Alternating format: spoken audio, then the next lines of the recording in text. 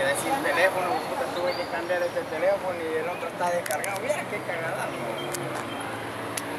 Qué vida. Todo tranquilo.